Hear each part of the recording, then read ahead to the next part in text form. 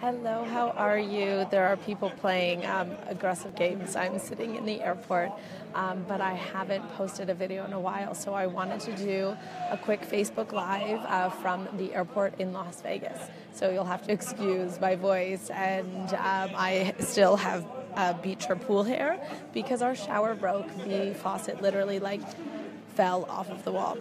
What I wanted to share with you today, I want to share with you four things and four tips for myself that I learned while in Vegas uh, for five, six days. It was a long Vegas trip, um, so I am a little bit tired, but I wanted to share with you four things that uh, were really prevalent on my trip. So the first is to pay attention to when you are feeling good and when you are feeling at your best, because then you can bank those experiences and those emotions and really recall them and go back to that place whenever you want to.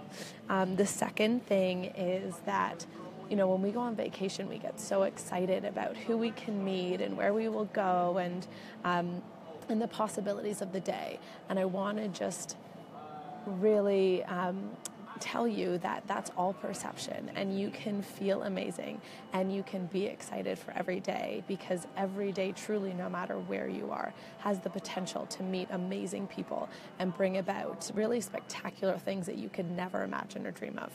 The third thing I want to share with you is the importance of taking care of yourself and your you time.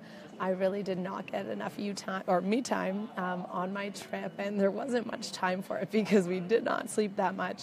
But I am by myself in the airport and feel so good and complete and full. And you know, I was kind of frustrated on my trip that I wasn't able to have more me time because I was so tired.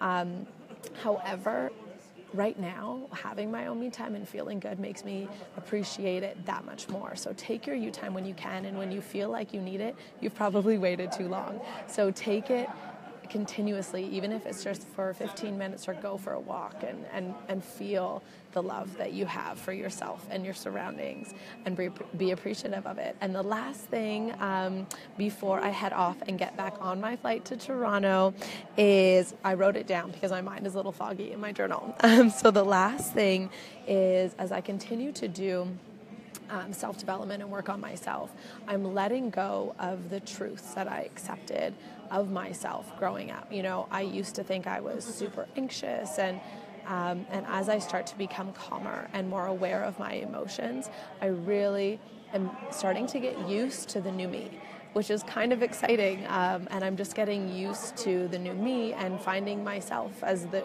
as I continue that journey. And so I'm trying to be patient with myself as I start to learn their new me. And I encourage you to you know, become that person that you want to become and get used to that you that you want to be because you don't have to be that anxious person. You don't have to be um, that person that easily gets upset or that's negative. You can choose who you want to be and become that person, but then be patient and start to love yourself and get used to the new you as you continue to change.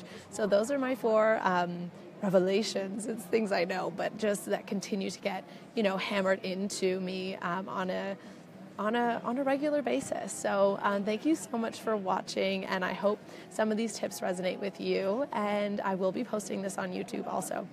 So if you want to follow my YouTube channel or go onto my Instagram, um, my Instagram is I am Vanessa O, I A M Vanessa O. So thank you so much for watching. Sending you so much love from Las Vegas, and I'm excited to go home and share some more love with you from there. Bye for now. See you.